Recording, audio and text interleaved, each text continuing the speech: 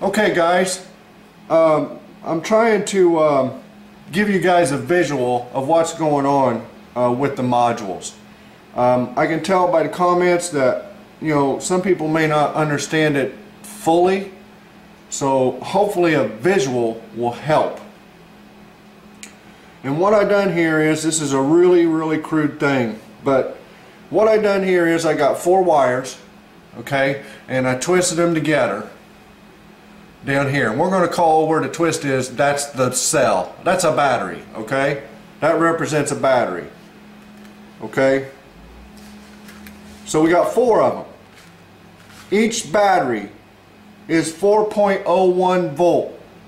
Just like we're going to use my previous video, we're going to use the voltage that we got in, in on the meter as an example. So each one of these things represents 4.01 volts and it also represents 32.5 amp hours. Okay, and we're going to arrange all these so that the positive is on my left and the negative is on my right. Okay? Just like this.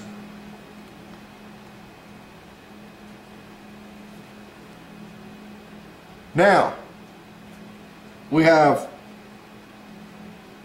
four wires in, in the common terminal in the center, okay? And then on each side we got a negative and then we got a plus, a positive. So we have, if you check from here to here, you'll get 4.01 volts. If you check from here to here, you'll get 4.01 Oh volts. Okay? And you can you can see each side is in parallel. Parallel is when you put plus to plus and negative to negative. Series is when you go positive to negative negative to positive. Okay? So you can see each side, okay, has the same collar terminal. We're red on this side, black on this side. Okay? And then we set them next to each other. Same thing here. Red on the left, black on my right. Now, if you took and measured the voltage across these two right here, it would still be 4.01. But since we have two in that this is parallel, you know, like color, like color, positive to positive, negative to negative. So each cell, this cell is 32.5 amp hours, and this cell is 32.5 amp hours. So when they're wired up together, we have the same voltage, 4.01, but our amperage is, we add our amperage, so we would have 65 amp hours, okay? So each one of these represents 4.01 volts and 65 amps because they're in parallel. Again, red to red, black to black. Positive to positive, negative to negative is parallel.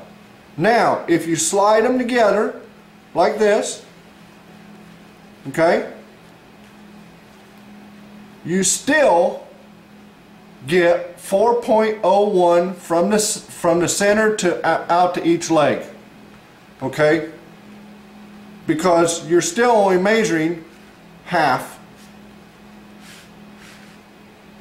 half of it. You go across this terminal to this terminal, you're measuring this half. If you go across this terminal to this terminal, you're measuring this half. But now, since they're all together here in the center, when we go from this terminal to this terminal, we get the series part of, the, of it. So you would add the voltage, 4.01 times 2 is 8.02. So if you measure from this terminal to this terminal, then all four of these batteries, or these two individual cells now, are in series. Negative to positive. Okay? Black to red. That's how you get 8.02 across the whole thing. Okay? So that is a very, that's how 2S, 2P works. This is four cells total. We got four separate wires here. Okay? We lay them in here like this. And wire, twist them all together and you would have a 2S 2P pack or cell module. That's exactly what it looks like inside the modules on our battery pack. That's how it's wired together. I hope that clears up some questions. Um, if you have any more questions, let me know. I'll try to make a video to answer. I know this is crude, but at least it gives you a visual. And I think the visual is what helps. So that's all I got right now. Take it easy, guys.